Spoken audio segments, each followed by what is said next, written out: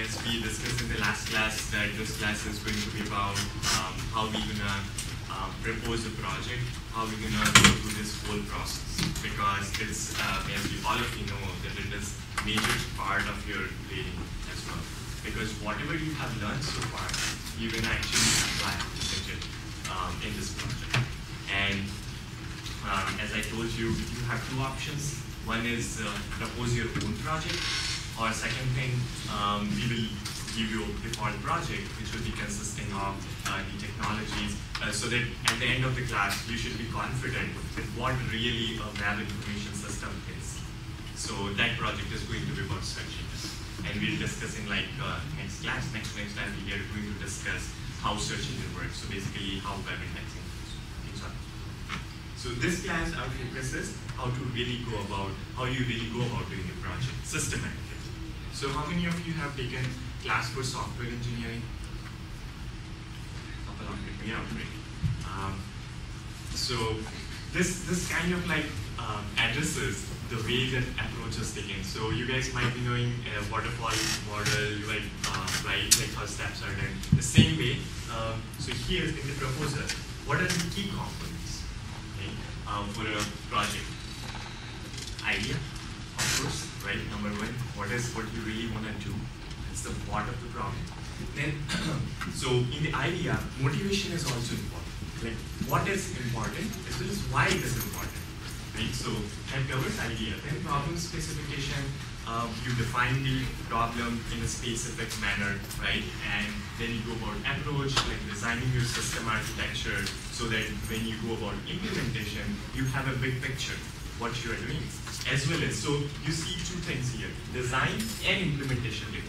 So design is basically at a bigger picture, at a, at a bigger level, what your system looks like.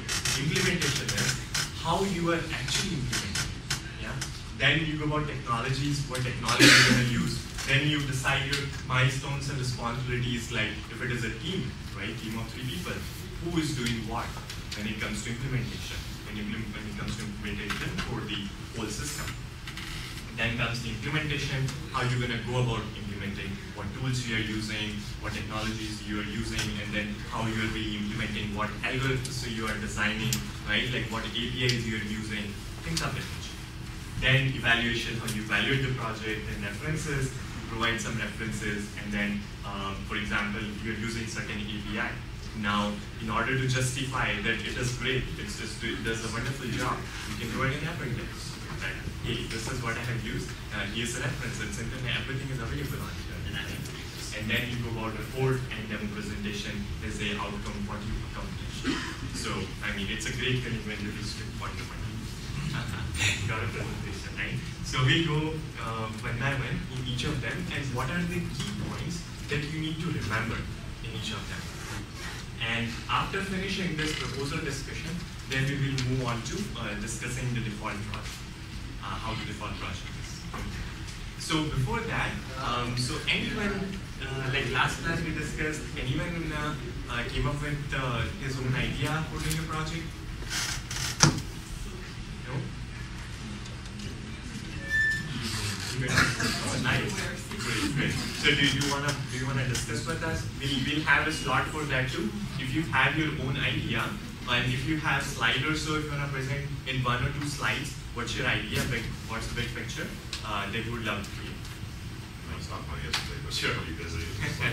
that's okay. That's okay. As well as so uh, after this, I'm also going to discuss the default project. But other than that, like in previous uh, three classes, you are going through like uh, different projects, like the bigger research projects which are going on, and in each of them, what are the opportunity for you to participate?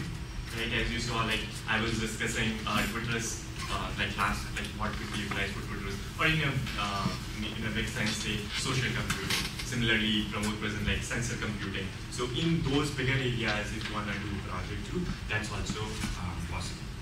So let's start with uh, one by one. Like, what is the idea? What problem specification? What are the things for you? What are the key things that you should remember when you are designing this proposal? Yeah. So, idea. It's a motivation to solve an interesting problem. So, uh, for an example, how Google search engine was designed. Right? There was a motivation um, that they wanted to find fast, like all the pages were really really fast, right? That was uh, that actually differentiated Google from other other competitors, and it was giving uh, what you wanted. So everyone was very thrilled, and that's how. So what this so there was a key motivation. Right? So there was a motivation to solve an interesting problem. So an example could be here. Let's take a topic search on Twitter. Go on Twitter and search uh, like last night's debate, right? So 22 elections, you, just type it and then all sorts of um, um, microblog posts, they will become tweets will be yeah, just like results, document results, right? Same way for Google, you go and search. So that's a bigger thing. What's the big picture? What is the big problem we are solving? What's the motivation behind it? So that's the part of IT. So when, when you will be writing your report, in that report, you will be mentioning each of these sections, like what was your big idea, what was the big picture, like what motivated you, and like that's the motivation. Then you about problem specification, concretely defining what you are going to do. So like it's, it's in a way, it's a presentation of like how this is the big, big picture, this idea, but this is in uh, a specific way I'm going to solve this problem. So that's a way of presenting what you're thinking, like is a, what is the big picture was, and like how you are trying to attempt to solve it. So that's why it's a means of presentation for solution, how you're gonna, like, this is, this is what you're gonna really solve it. And in this form, so how, so in this form. So for example, uh, for a search problem, you're going to design a user interface for a search engine where uh, on the back end, you have where user inserts the keyword for search and display uh, tweets as a result. So that is a, like you're doing as a project, like this is a problem. This is, this is like one line thing I have for my project. So this, uh, that will go in the, what is your problem specification. Then you go about approach, right? Um, very important part, right? So we define the problem, but how we really gonna solve it? So there comes the how part of the problem, that how we are solving it. And in that, the biggest uh, point is to think, uh, so always uh, one suggestion I'm going to give you guys is, uh, so some of you have already taken software engineering, so you know that already. Um, it always helps to organize what we are going to do, right? That's what you do. You, the software engineering, the first step is like your specification you provide. So what it helps, it helps in organizing what you're going to do. The same way, in our approach, system architecture is the key we have to have a system architecture before you start designing a web application system.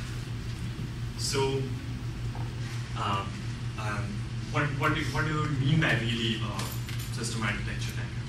So, it, and also two labels, design and implementation, right? So, it's an organization of your tasks presented in a diagram, in a diagrammatic form. So, you understand what are different components of my system right? So, for example, in a search engine example that we are talking about, um, there will be an index on the back end. There will be a UI component in the front end, right? Which so client side is talking to the uh, server side, and in the server side you may have databases, you may have file databases or relational databases, right? Things of that nature. So how each of this component fit in the uh, overall system. So that gives us an idea of the flow, how the process flows. So I think uh, most of you, I think all of you have taken already programming class where you would have seen this flow charts, right? What are they? Process, right? So the same way here when you're designing a bigger system, there also it's important to kind of create the flow chart. And the flow chart here is in the means of architecture. The architecture diagram here uh, is going to be at two levels, one design and implementation level. Design, like the at a higher level, like this component, uh, like a black box. You don't talk about, you just talk about big, big boxes. For example, in a search engine, here's my crawling box, which is crawling all the web pages. Here's my chunking box, crawling so in, uh, I'm using the output of uh, crawling, and this is how it is in chunking. Now, you are not at this design level, you don't talk about inside that which algorithm you are using, which API you are using, things of that nature. It's a bigger right? So that a person, so when you are conveying or presenting your whole world to someone else, um, it, it's the kind of, you can think of uh, like a business diagram, let's say. Like uh, you are talking to some business folk and you are explaining him. He doesn't understand what algorithm is, right?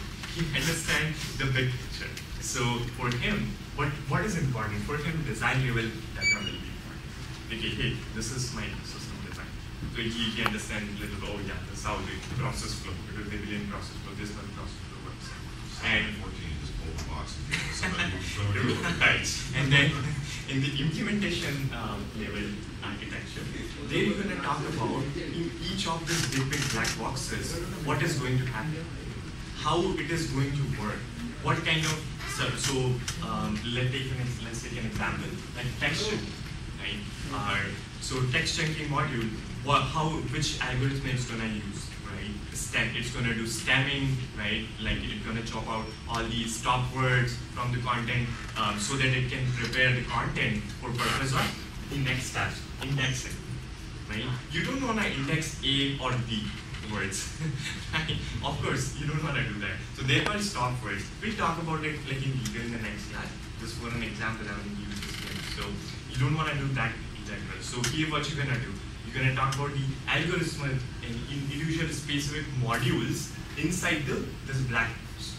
That's our major task. In the case of uh, implementation level design. Here, yeah, please feel free to stop me and ask questions. You know?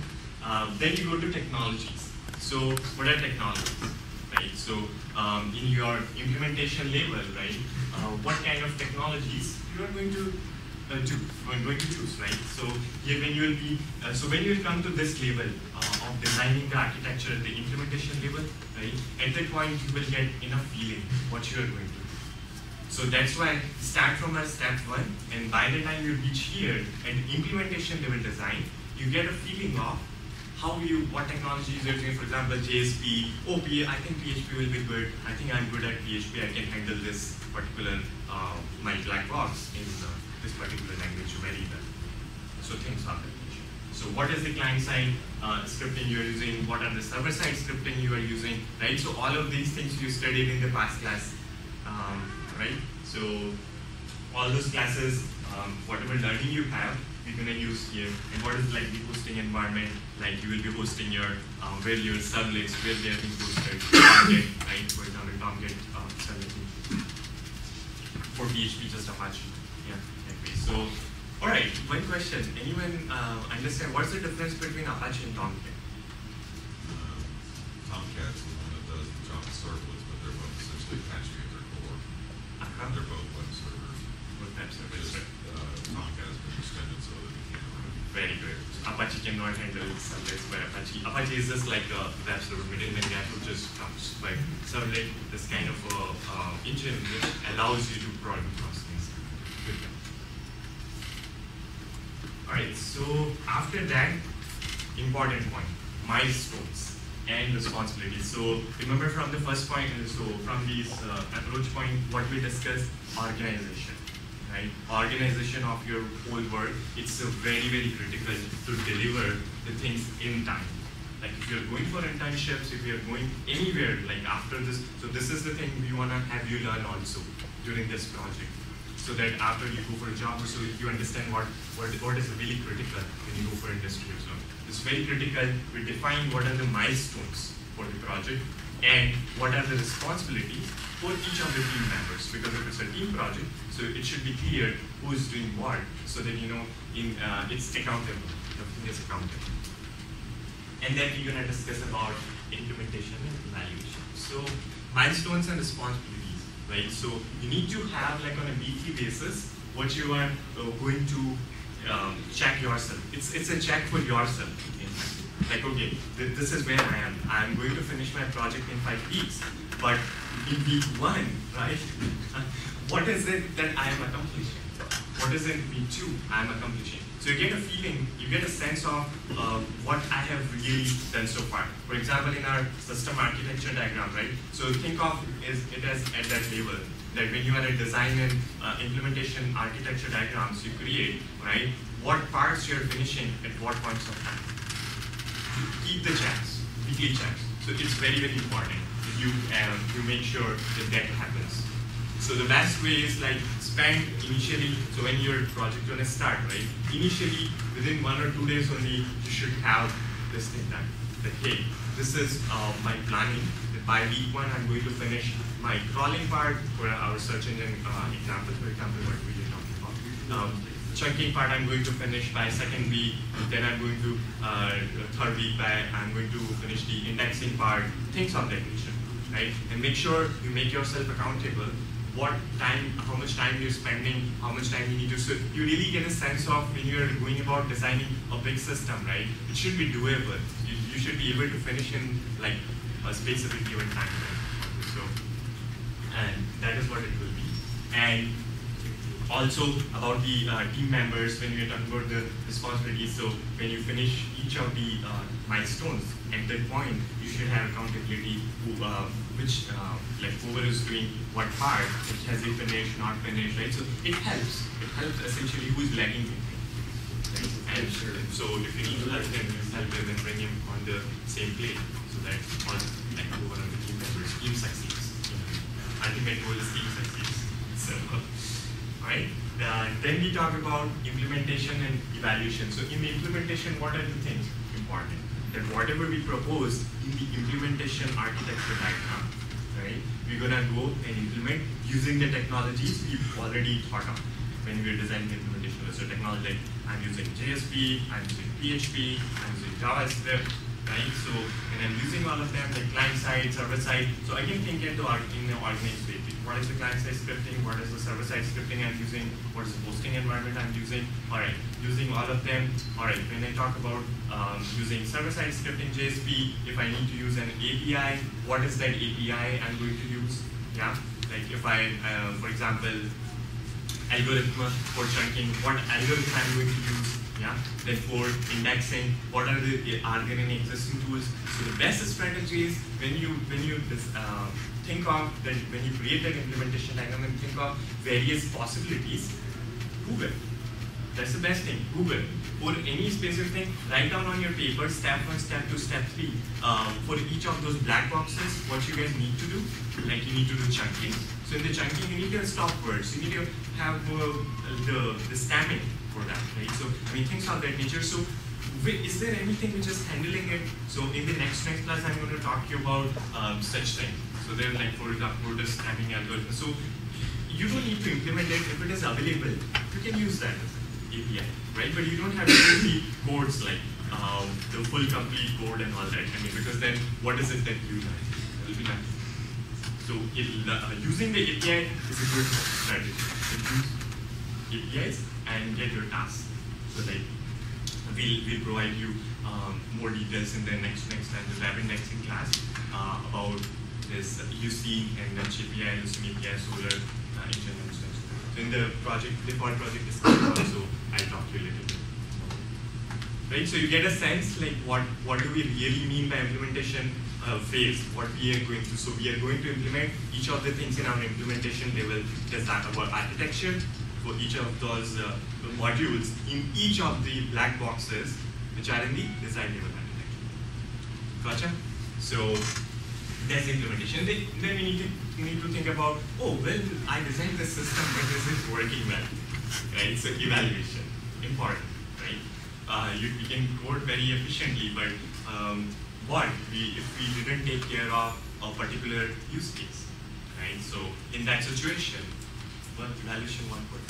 So we got to make sure that what are the test cases that I'm going to use for evaluating. For example, if I'm using a search, when I'm uh, doing a search for engine project, in that case, I should be able to evaluate with respect to certain queries, that whether it is giving the right results or not.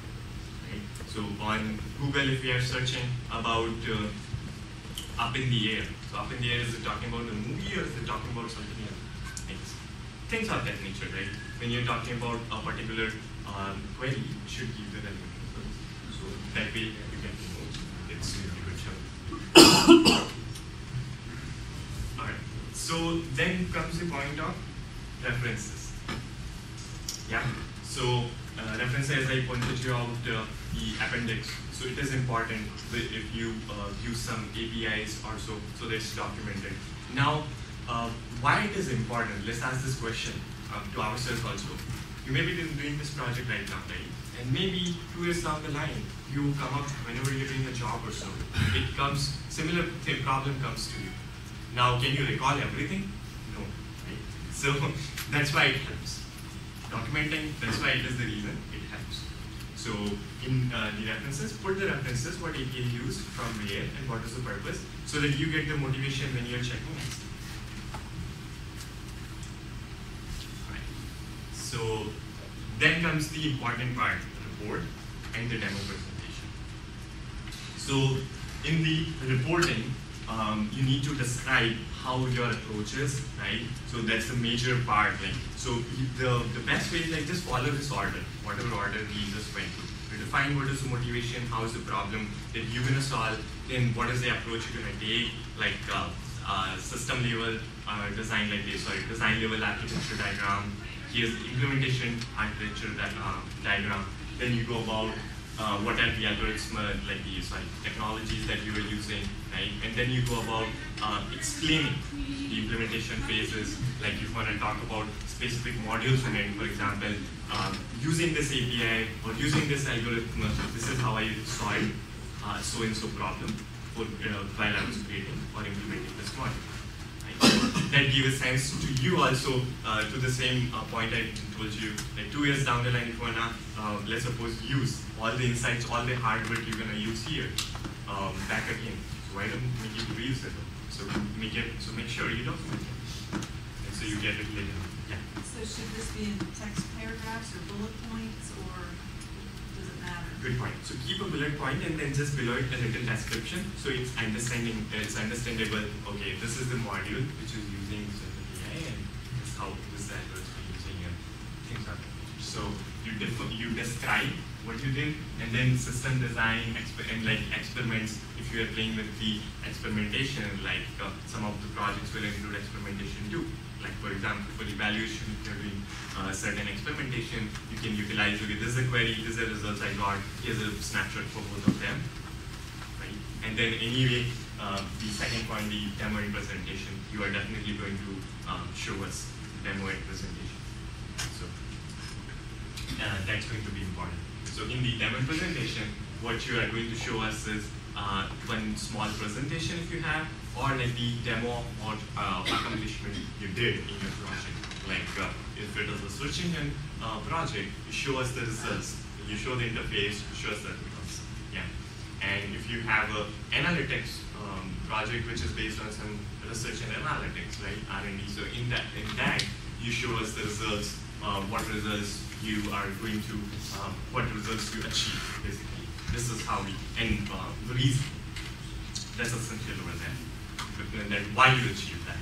Because it's analytics, it's a project is about research. So there you're gonna talk about the reason why. Make sense? So after that, important one. So what are the deadlines? Yeah, very important. Because you have to decide um, when to start, how to. So um, I would suggest, in fact, today uh, or like like today next week, think about it. Form the teams if you are going to do a new project, right? Think about the ideas, what you have. If you don't have ideas, then you you may end up with like this default project or uh, the project that we guys were discussing, like research um, based projects, right? So if you want to do that sort of project, it's also possible. So for proposal, right? In proposal, you should have all the idea, what you're gonna uh, do, system architecture, what you're gonna implement and all, like design and basically implementation of your architecture. Yeah, you're gonna describe your approach, this this is what you're gonna do. And then, um, uh, so this, that should be basically submitted as well. Darshan, do you wanna add anything? So problem specification idea and like design uh, level and implementation level um, system uh, architectures, both of them.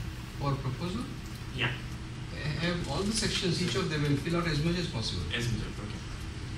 Like uh, even like implementation evaluation, like uh, the evaluation, so yeah, evaluation is critical. That, that should definitely there. So like you, you get a sense of how you can evaluate. But like in implementation, also also if you have some idea already, like this is the phases, this is the algorithm, this is the APIs I'm going to use, put it. So that you know, it's it's very when the things are concrete, you do things faster. So we'll finish up your things in the milestone. And very very critical, the timeline. Timeline, yeah, it's very important. So please make sure that you put your timeline, how you're gonna finish up the things, milestones. Yeah, and responsibilities as well. Who are the team members, who's doing what. So that's accounted. Then, yeah, so proactive approach, come up with an idea, yeah, talk to your friends, form a team, then commit to whatever communication meetings you do. So make sure, yeah, uh, so that is the reason uh, why, why milestones and responsibility part is important. So that accountability is always there, who's doing what, and if he committed, he didn't do it, so you know that um, who didn't do it, he can be uh, pointed out that, yeah, hey, you didn't finish, we as a team, but you didn't finish. I think within one week it should be very clear whether the team is going to work or not. So don't drag this along. It's possible that somebody says, oh, I have, uh, uh, I'm working full time and I don't have time to meet, then just don't engage in, you know, and then if that won't work for the team, uh, you know, say, sorry, this, this thing is not going to work. Uh, so if people have different constraints about, for example, meeting, uh, if, if there's a team of three and uh, three of you cannot find uh, three slots in a week to meet, possibly at least you know two three times a week, then uh, that's not the right team. Uh, you know, just don't. So cut your losses earlier. Say uh, to the teammates, this is not going to work. And uh, also, uh, you have there's a choice of people coming up with synergistic skills or people coming up with um, uh, no skills or little skills and um, uh, highly skills. Now, uh, the first one will probably work, the second one may not work. Um, in uh, our assignment 3, uh, majority actually uh, said the assignment is not hard at all or easy. Uh, quite a few submitted ahead of the time. And there were three to five people that were always in the room uh, uh, seeking help with not even uh, enough knowledge about syntax and other things. These people, uh, you know, if, if, if that is, you know, that would be a challenge. How would you do the project? If you had problem with assignment three, I don't know how would you do the project. And in this case, the best you can do, uh, given that you have chosen to remain in the class, is to uh, probably uh, seek out people with your level of skill and uh, try to do default project. So the non-default projects, uh, that is not to say default project is much easier, but at least you have a control over uh, what you are doing and you can, uh, you know, sort of choose to fail uh, in doing so, and it will be clear that you you're failing in doing so. Um, uh, but uh, if you uh, decide to work on projects like Twitris or PREDOSE or um, the semantic sensor web or any of those things, then um, you need to be more confident about your skills.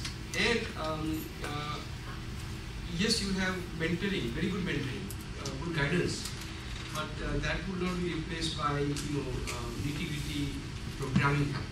So you know uh, each of these uh, guys will be available to you to help you define the things, to go, you, go with you on the API, help you design the whole thing.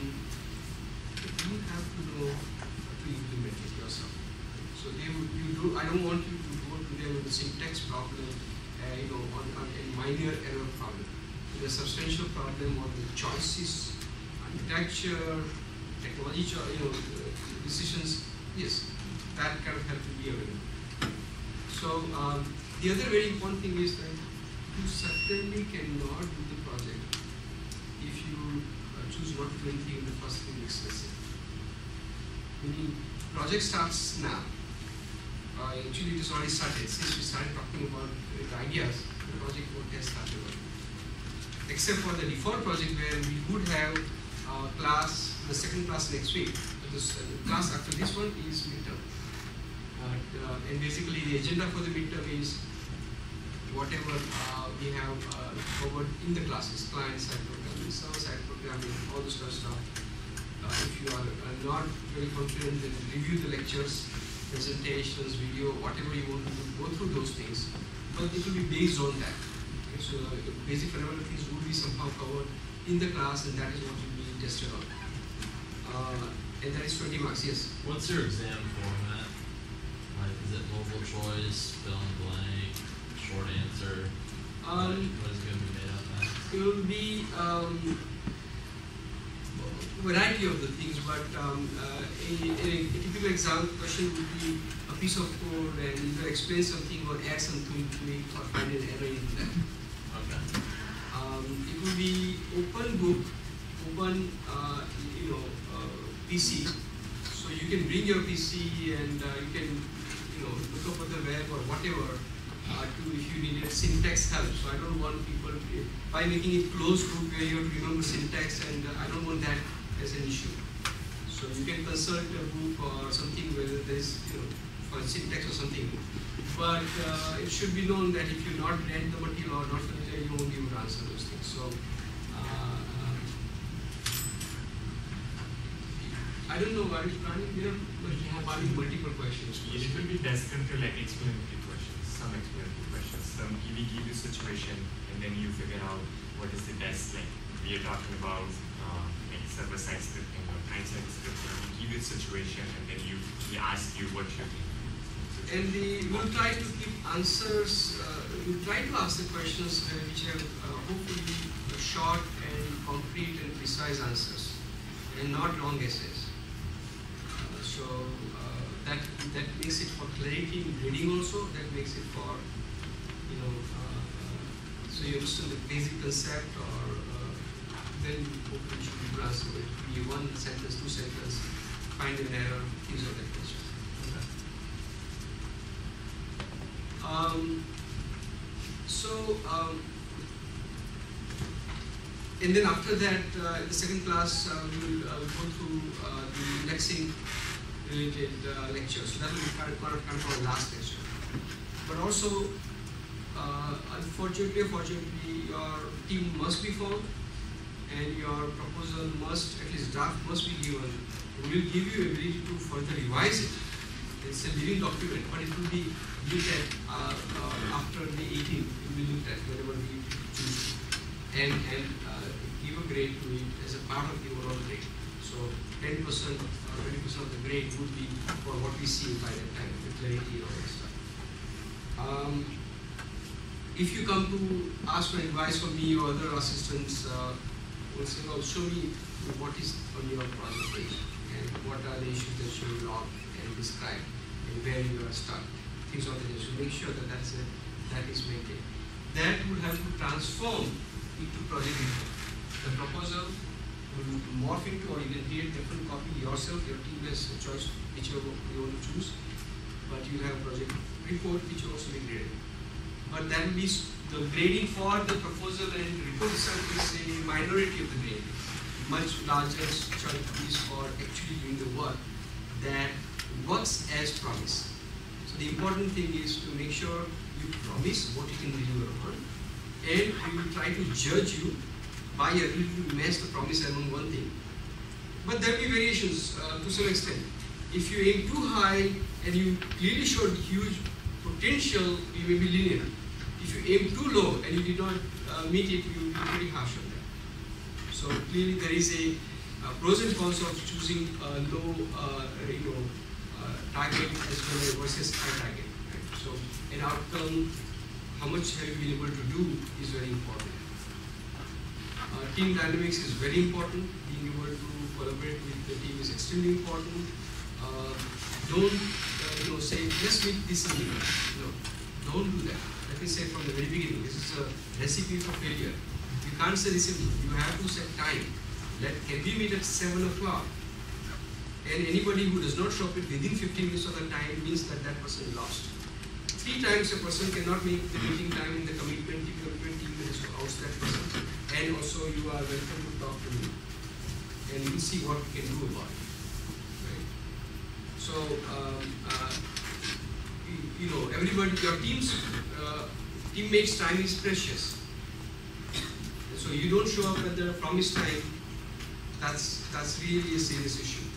I mean, that is very similar uh, to what happens in the company. I'll give you i- uh, general idea.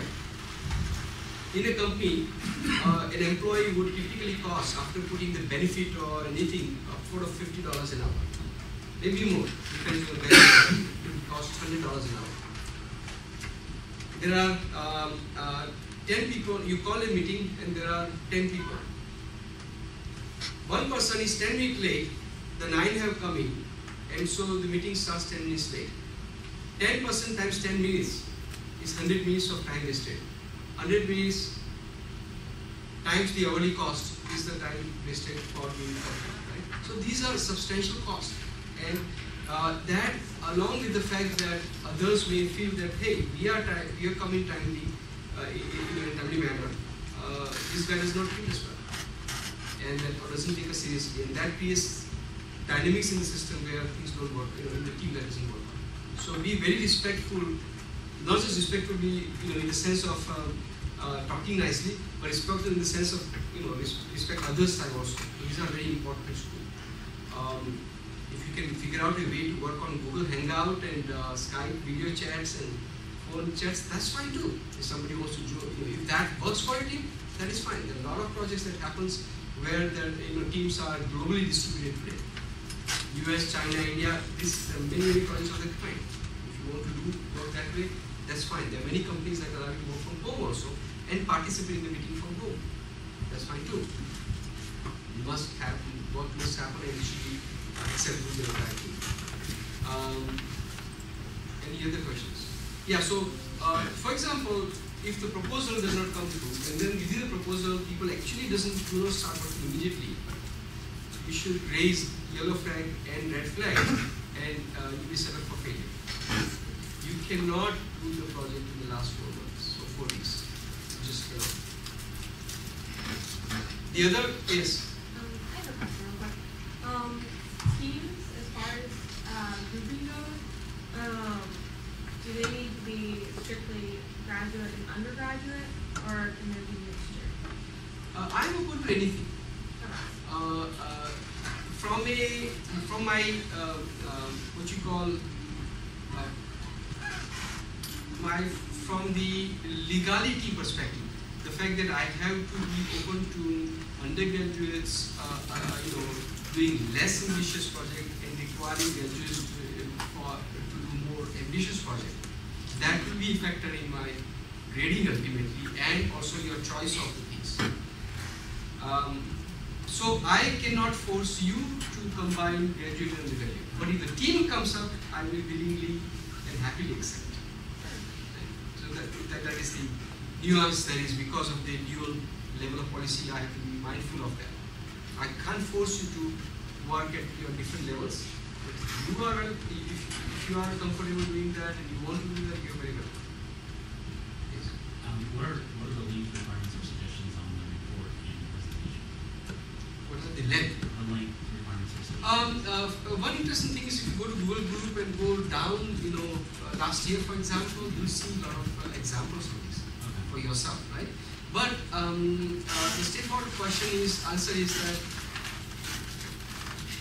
I would say somewhere in the neighborhood of uh, six to ten pages, but no longer than ten pages. And uh, less than five pages, I wonder whether you can really discuss all these things. So that will be the idea. Um, um, I don't mind if it goes to 12 pages, but I'm just saying that it is typically not expected. and This is not a very long uh, thing.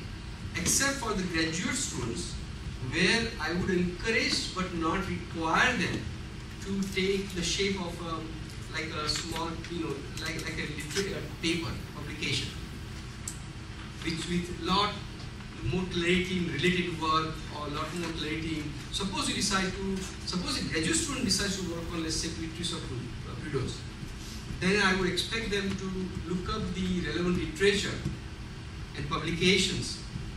And by the way, we will give you that, that's not a problem. But then you need to be able to cite them and say, uh, I'm enhancing this, or I'm using this formula, or even Wikipedia page where there is a discussion of TF-IDF and then you want to cite them. So I want that more uh, certain level of formality in writing, technical writing, the, for the graduate students.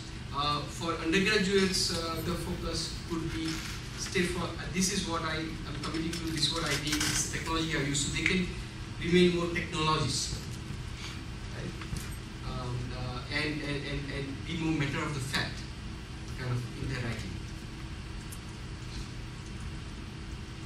Uh, in terms of presentations, so presentations of the team will be 15 minutes or something along that line. So not long.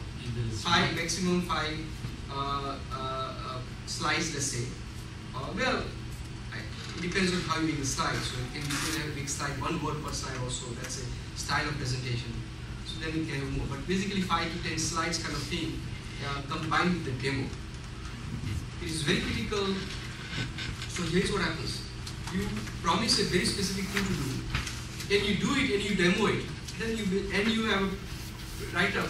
Then uh, then I think it's easiest for everyone, for you, for us to pay you and. And usually the outcome is positive. Things become sticky when you could not achieve what you promised and you could not demo it. That means now we have to this well into partial credits. Things become even more um, uh, challenging when uh, somebody then starts claiming, but I did my part, this guy did not. Then again, then, then I have to conduct an interview, ask them to uh, walk through the code, show me part, you know, how that part of the code work, you know, is, this tested and to work and give that person high credit or full credit while the other person would suffer.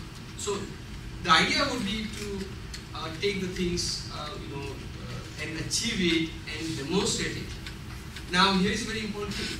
Suppose you guys have made a schedule where you would have implemented all the uh, components of your system one week before the due date. The chance that you will be able to do give demo is less than five percent, almost none. Unless you are doing incremental testing, unless your interfaces between the modules are very clear, unless the data uh, flow between the modules has been tested, unless the message between server and client has been documented in writing ahead of the time, and that the server guy can test his software without the client's guy, complete, uh, you know, client guy completely working vice versa, and vice versa, you will not succeed. You have to do incremental testing, you have to do you know, development and you know things. We can't say, oh, okay, here are the three parts, go and develop, come back one week before the due date and like put together that won't work. It doesn't work. You will not have uh, test data must be done right now. In within the two three weeks of the proposal, you must know what are the what's data that you will test from. It should be documented. It should be in a file somewhere if possible, or pointed out on the web that this is what the this is the data set I'm going to use. So uh, you have to uh, hand work through your design, architecture, or. If you don't do that and just start coding that, that's a uh, failure. There are very few people who can do that. Is each person in the group demo their part of the project? No, it can be a combined demo if everything works together. That means you did it. Then you don't. Uh, but I mean, you'll be all present and you'll be able to, you know, three of you are there, then uh, you'll give it collectively together. Um, it may be like one person use two slides, another person use two slides, another use two slides. So everybody should be given visibility and opportunity to present himself or herself. Um, and and uh, and uh, the overall team success. Uh, it, so successful team will celebrate overall team success and success of each of them by the fact that the whole thing worked. And the teams that don't work, they will kind of you know uh, you know one person say I did my part, I did this, but this thing, uh, you know the other guy say I, I didn't my part.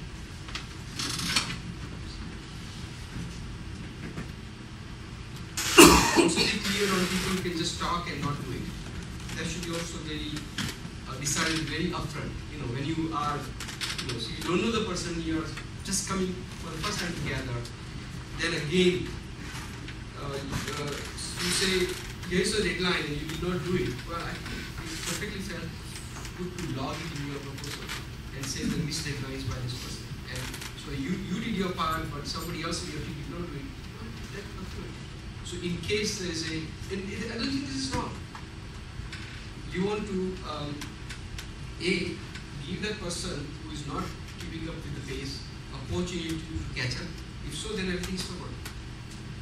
Not, then you need to say, okay, now uh, only these two of us will continue the project and you, you figure out what you do.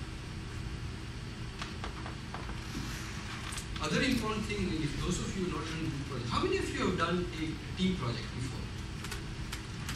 This is wonderful. Well, there are very few that have not done team project. So for those of you not team project, doing a team project is um, so if you if three parts by three people, the work some of these three is significantly smaller than what it takes to get the whole all the three parts working together. Okay? So um, the, there is a lot of time wasted in group dynamics, in the interfaces, and so on and so forth, right? As opposed to work project doing project individually. So when you think in terms of the time you have to devote, account for the fact that there will be a lot of extra time that will be gone in educating others, in sharing others, in communicating with others, uh, enjoy, you know, testing with others' so and so forth.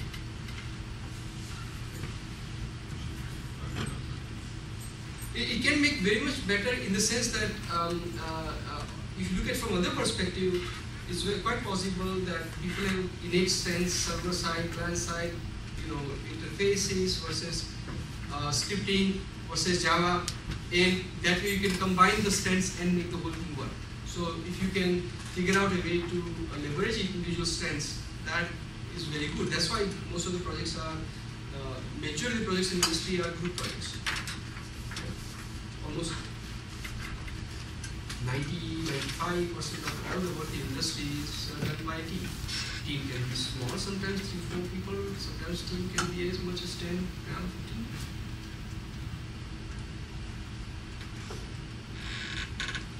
Yes. If we have an idea for a project, uh, can we stop out at three eighty and just bounce it off of you to see if, uh, if we're in the right ballpark? and How much scope? Can we start project what? Could we ask you if, uh, our idea for the project, the proposal is, uh, close to what you are looking for? Yes, absolutely. Uh, it's- it's- we have we have three types of projects. The default project, the idea that you come upon your own and propose it, and uh, uh, you know join one of these uh, other projects. Can more than one team join the project? Because, I mean, it, maybe one team might not do it well and the other team might. Uh, they, it will all depend on, uh, uh, both of them are welcome to talk, but uh, there is only a limited capacity on our side also. So if everybody wants to work with Windows, it's not going to be possible. And uh, typically only one or two, you know, team can work. Now there are going to be exceptions. For example, there is a graduate student who um, um, is going to um, um, work on PREDOSE and she already knows what she's going to do because there is already a past interaction. Although for the grading purpose, she also have to do the formal thing, make sure it is clearly documented, make sure that that is done for the course and not part of other duties and so on and so forth. But uh, there may be uh, cases where um, uh, uh, more likely uh, there, are- a number of undergraduates as well as students here that have that already know some people in the Kno.e.sis Center in my group, and so uh, they may already know about these projects one way or another, and uh, then it is not necessary that you have three person group. There is a you know very specific things they're going to do, and then they can be a single or two person project, but indirectly it is a multi person project because they are collaborating with the uh, project team itself. But these are the people who are typically um, uh, uh, fairly self-sufficient, so they're not going to get too much help. They're going to get help in defining the stuff and you know isolating the part that they're going to do and how that's going to be incorporated into the overall system and such. So uh, there will be people, you know,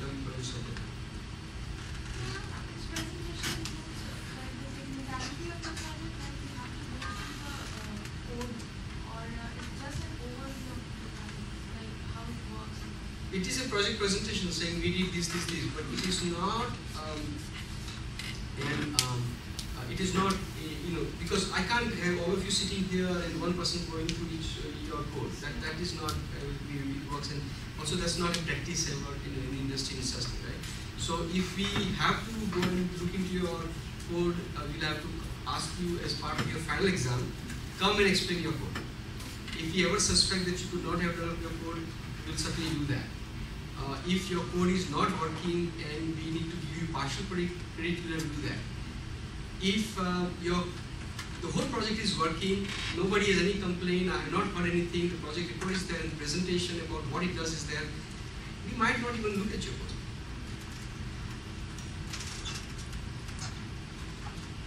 That those are the benefits of success.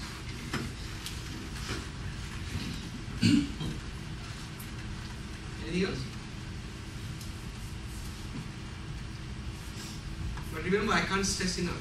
Uh, you really have to front load this. Remember, many of you have other courses. You have finals for them, and you'll be preparing for them, and you'll be competing. If you're competing project work against final, this will be a problem. Something will lose, right? So you, you know, and that will. So try and uh, you know almost think front load it and think that um, you know very project. Other thing you will find is that most likely this is going to be much more work than you think it is.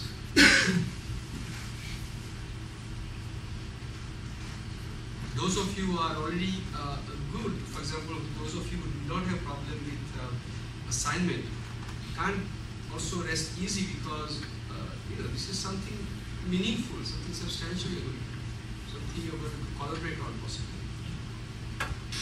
Plus, they should take the opportunity anyway to push hard so that they can have something very memorable and then hopefully show off to future employers or you know, When's the presentation? Um, so next week, you know, we have exam and then we have one class.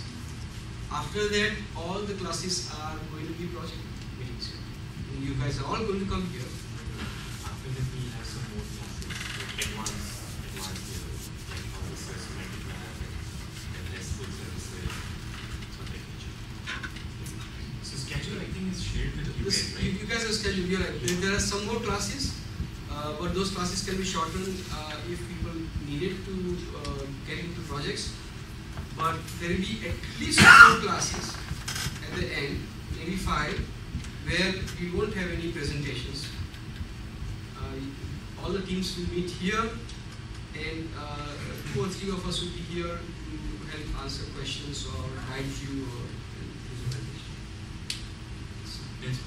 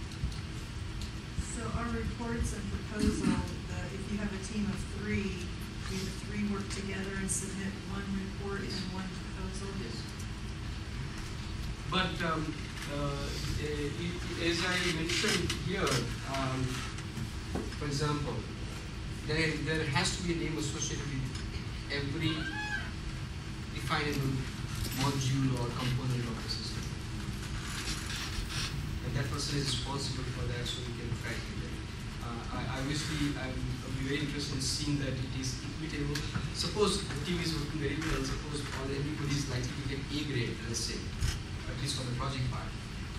I would expect that they are doing roughly equal work, maybe, you know, that nobody's doing more than fifty percent of the work in a, of the hundred percent, fifty percent project. So we'd like to see that. Uh, and so it's a fair distribution. Each of them um, uh, to be able to say, I did something interesting and significant and I contributed to that and I learned something.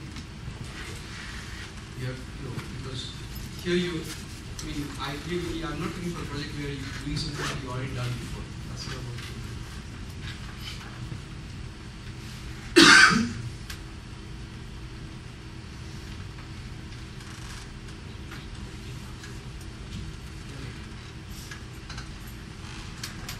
Yeah, so let's start talking about the deploy project, uh, option number third, right? So you don't have idea, you don't also want to do any R&D type of project, then here we go, uh, deploy project. And It's going to be a search engine project, right? So, so that you get understanding of what really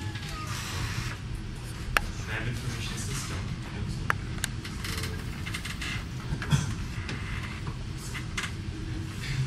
So in this project, three phases. So again, following the principles that we just discussed, My Idea, motivation, problem specification, approach, um, di- system diagrams. You need to make sure then um, your uh, implementation technologies, right? What technology you're using for implementation, and then uh, finally evaluation.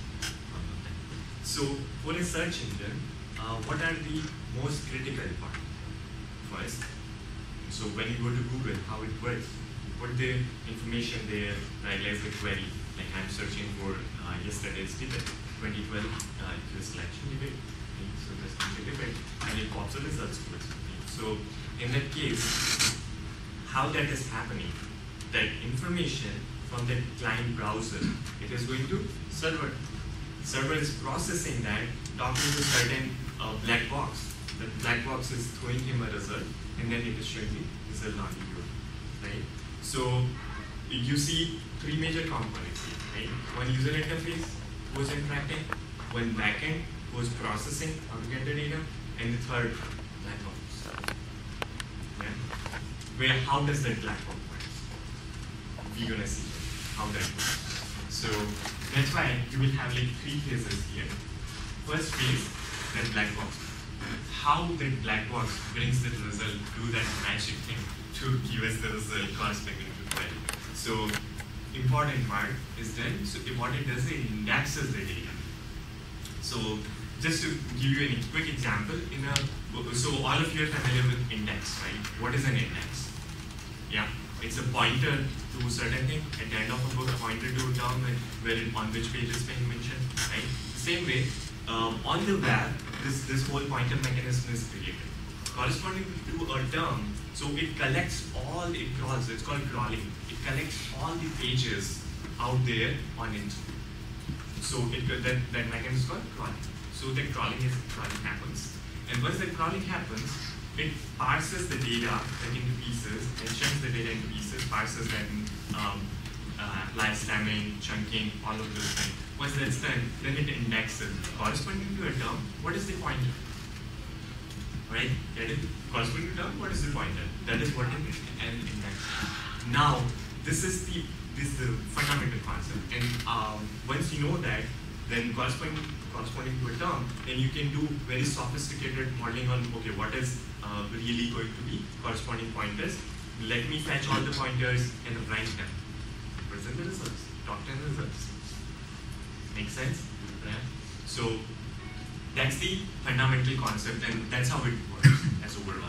We will uh, understand it in more detail, technical detail, um, in the next next class after the exam, the indexing class. But um, here in the project, so you, uh, I just wanted to give you the understanding what are the components. So that way, in nutshell, use Solr.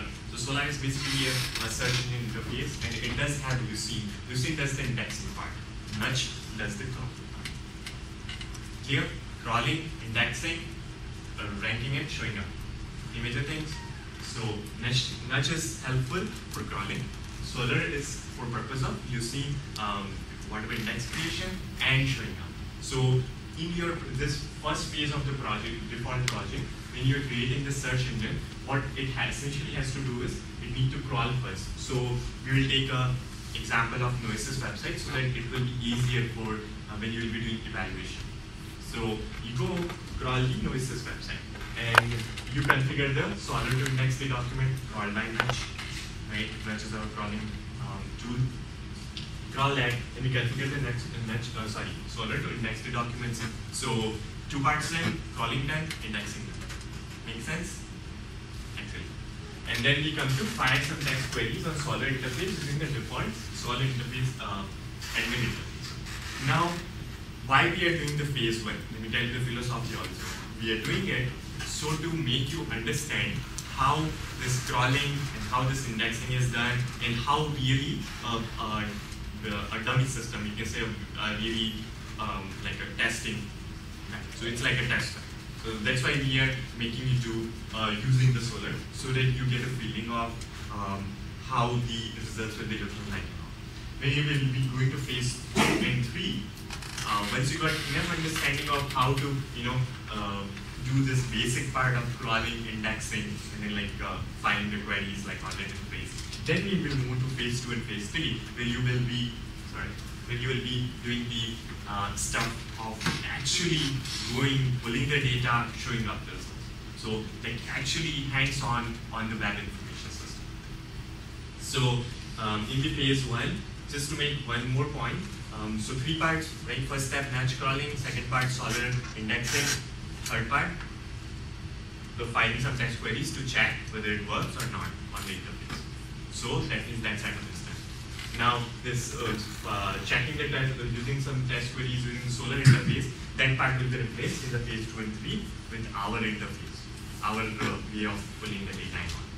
Get it? And one thing for grad students, which will be extra here, is uh, um, they need to investigate the tuning of the parameters. Yeah, grad students. That will be additional. That's not for undergrad. They need to test if they tune the parameters, how the results ranking changes. They need to justify in the reports also. And once you take that part, once you finish the phase one, you move to phase two. And in the phase two, there comes the important one. So Solr was in phase one, Solr was taking care for us um, when we were filing the test queries. On the interface, we're finding the test queries. They're going on the back end, on the server side, and they're pulling the data uh, for us, what is needed in the right way. Now, in the phase two, instead of let Solr do it, we will create our interface. We need to create client side, we need to create server side, which actually goes and talk to this black box. Pull the results and then show on the view. Get it task clear. Like I was you create the ser- server side, you create the client side, show them. Right?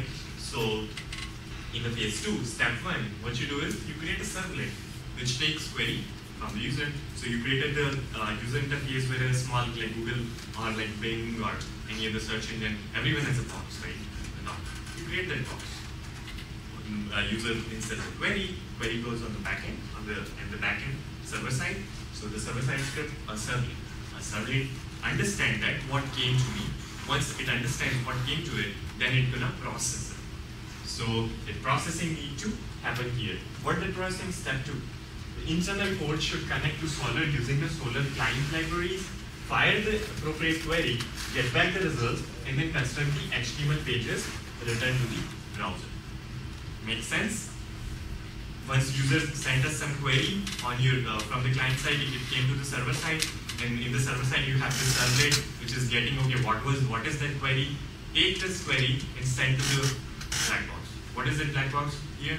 That uh, indexer, whatever indexing mechanism the Solr did for us. We will talk to it using it has an API, right? Everyone understand the concept of API? Excellent. I just wanted to make sure I'm sure you use it. Right? So you use the API and get the result corresponding to the query terms. Once you got those results uh, corresponding, corresponding to the query terms, you give those results in a presentable form to the client side. Then only it will be able to show, isn't it? Yeah.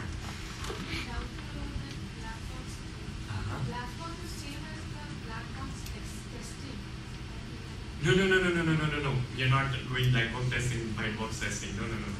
I think yeah, I think no, no, no. It's not. I'm saying black box as the uh, like in a general sense way, and when we say black box, when you don't know about what is going inside and like that, right? So just to make the con- like uh, concept simplified, I said black box. So it's not black box testing. It's a good question. Black boxes and how it works, not the like uh, right like inside really yeah the things of that nature you will understand it um, so why i'm using the term black box right now is because uh, we didn't teach you the web indexing class yet. So after your midterm next thursday we will talk about web indexing whole like how those internal parts of the box are working so then i want to use the black box so right now this is the reason i'm using and in that, what is essentially there? It essentially the part of financial Solr, which is uh, it has the cron information, chunk that, indexes that. That's the part is there in the, uh, that particular black box. So in the phase two step what we are doing, we are getting query from the user. Once we got the query from the user, uh, corresponding the query, we are asking the API of the box. Right? The hey Solr, give me corresponding to this query, give me the results so that I can send to the UI. Once you get that, you need to uh, formulate it in a way which can be presentable on the UI. So in the phase two, you will just send an HTML page. Oops. Sorry. So create server-driven HTML pages, and uh, so appropriate query, get back the results, and then construct HTML pages to return to the browser. That's our phase. So I'm very clear. In the phase one, we were testing queries on the interface of Solr. In the phase two, it's our interface. It's not Solr interface where we'll be testing our queries. Clear? Make sense? Graduate students, again. So, um, undergrads bonus, yeah, if they want to do it. But like for it's for grad students only, they need to return the XML um, from the servlet and use the XSLT to show it. You have studied it already in the past classes. Yeah. So yeah, for grad students, they have to do it. And if undergrads do it, like I mean, it's a good hands-on. They can do that too. They'll get extra point for it. Clear? What is what is the key uh, point in the phase two? Creating our own interface, not using Solr interface, creating our own interface, and returning the output in HTML pages. Key point. Gotcha? Let's go to phase three. So phase three. Here, um, let's yeah. So I'm trying to follow this. Basically, we, we, we, need, we need, which is an example, to create our own our own interface. We go to the black box of data, whatever, and get, uh, send the query, get the query back, and then present it in the HTML. Yes. So send the query to the, the, the black box. Black box basically the Solr APIs. Get the results from there. Show on the UI using HTML. Phase three. It is important. Phase three is basically the Ajax interface. So you guys learned the Ajax and JavaScript, right? So instead of uh, the only difference between phase two to phase three is how the output is returned to the user interface. So that what we wanted was essentially how uh, I mean to enhance your understanding of how this you know this client-side programming works. So that was our motivation um, from phase two to phase three. In phase two, you were simply doing a step of sending the HTML page. Here, instead of sending the HTML page, uh, what you will do is you will create a JSON sort of format and then send it on the UI so that edits can handle it and display it in a meaningful. So, what is the difference uh, phase two to phase three? Anyone can explain me from your last class what you had understood? What does Ajax does different from just returning an HTML?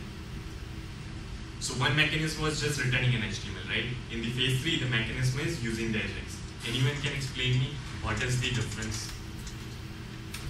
Returning a normal HTML would actually change things on the page. The Ajax keeps it Very running and whatever you're So the first, the phase two, what's going to happen is page will be reloaded.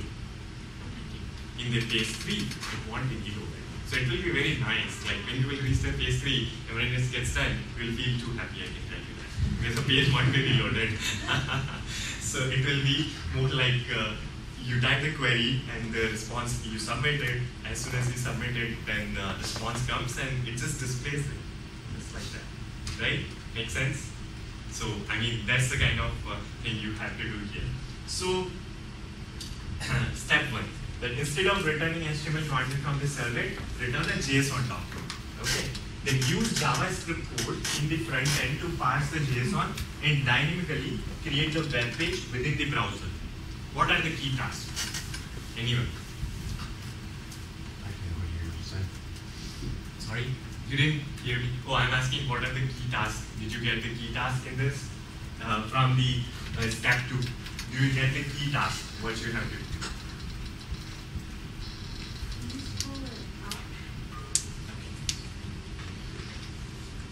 I think I've seen this before, was this available somewhere? I was searching in the beginning of some class, I think somewhere it seems. Oh, but maybe we, we might have changed it, like the points and stuff. Is this- We're gonna send you PDF version of. Okay. Yeah, we're gonna send it. Yeah, it's just like having a feeling of no, no, no. This is going to be with you. Sure. Okay. Anyway, coming back to my question, uh, do you understand this part?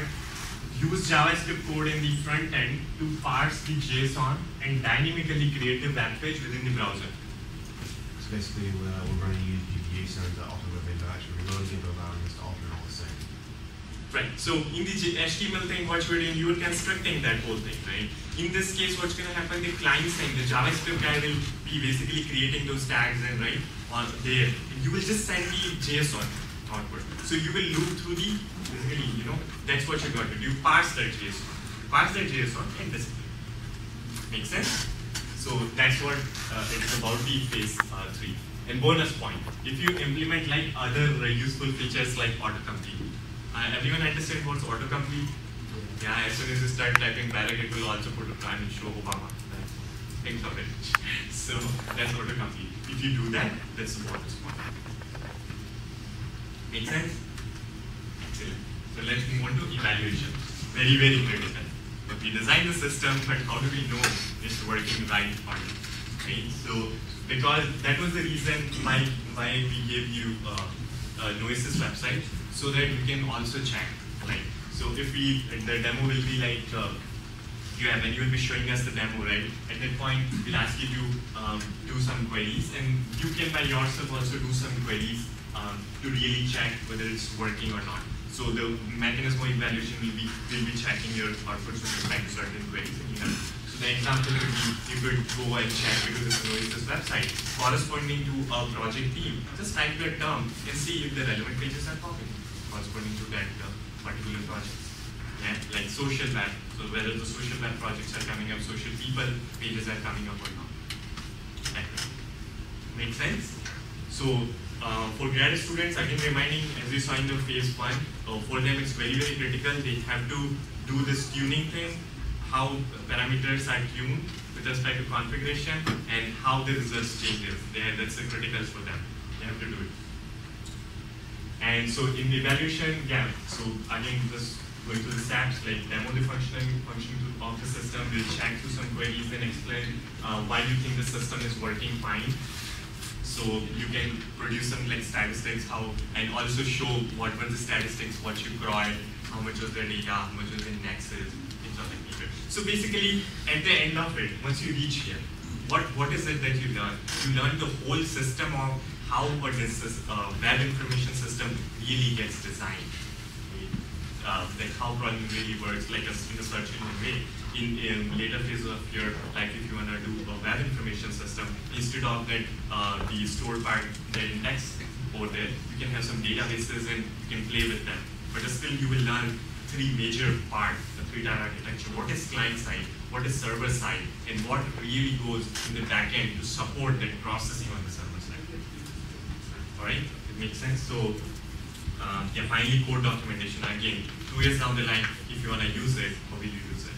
So make sure you have your code documentation, put comments in your uh, code so that you by yourself want to also understand later. In the report, clearly tell you these steps uh, you took to perform the phase. So as already Lakshmi mentioned how it's going to be. Um, yeah, so for grants, it's important again add a section about given parameters and clearly state the last point. Yes, uh, I think I should already emphasize it. Uh, clearly mention the. Make sense? So this is a default project. if you don't have anything, then this is what uh, we would like to do. Yeah, please go ahead. If, if we decide to do the default project, I'm assuming you still want us to do a proposal and. Yes, yes, everything. Yes, yes, yes. This is just a, uh, you can say idea. This is our idea to give you um, if you don't have idea. So this is one option. So our- Second, if you have, yeah. Sorry. So our proposal would be over this default project if we. Yes, Okay. yes, yes. So this is just, we define you phase and everything, but you still have to formally create the whole uh, uh, document with the whole step, all the steps in the proposal. The of responsibilities, milestones, everything. Yeah, implementation, architecture, everything. Like here we're defining, but you have to really, that was the reason we, why we didn't the architecture. We don't want to, we don't want you to learn, you create for us.